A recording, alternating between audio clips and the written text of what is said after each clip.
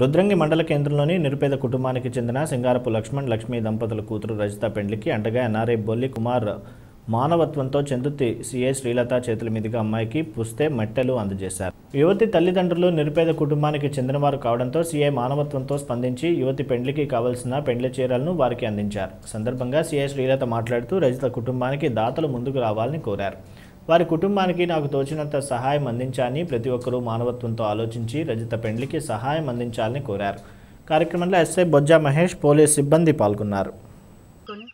తన వంతు కృషిగా social media అంటే మేము ఈ అమ్మాయికి ఆడపడుచుకు పెళ్ళి చేయాలనే నేపథ్యంలో సోషల్ మీడియాలో పోస్ట్ పెట్టి దాన్ని పెట్టడం వల్ల దానికి ముందుకు వచ్చినటువంటి డోనర్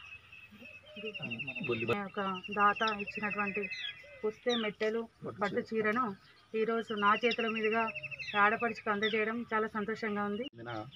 సింగారపు రజిత యొక్క పరిస్థితిని సోషల్ మీడియా నా కలమక్షర సత్యం ద్వారా ప్రపంచానికి తెలియడంతోనే చాలామంది దాతలు ముందడుకు వచ్చి అమ్మాయి పెళ్ళికి సహకరిస్తున్నందుకు మా టీం తరపున ప్రత్యేక కృతజ్ఞతలు తెలియజేస్తున్నాము. ఇరవై నాలుగో తారీఖు నాడు అమ్మాయి పెళ్ళి ఉన్నది కాబట్టి ఇంకొంచెం సహాయం చేస్తే వాళ్ళకు హెల్ప్ అవుతుందని చెప్పి మా టీం తరపున కోరుకుంటూ ఇందుకు సహకరిస్తున్న ప్రతి ఒక్కరికి అలాగే ప్రత్యేకంగా సిఐ మేడం గారికి ఎస్ఐ సార్ గారికి ప్రత్యేక కృతజ్ఞత తెలియజేస్తున్నాను.